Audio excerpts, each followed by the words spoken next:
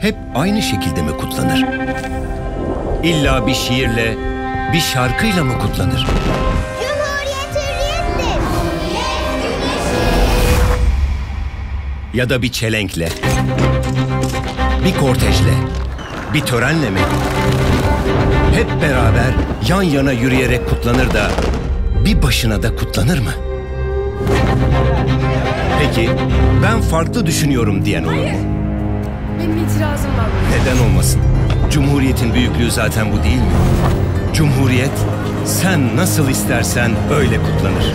Cumhuriyet çalışarak, çok çalışarak kutlanır. Çok üreterek, işine dört elle sarılarak. Gün gelir el kaldırarak kutlanır, elleri şükranla açarak da.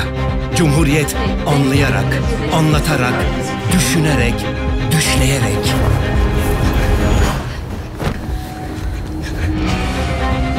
içinden geldiği gibi özgürce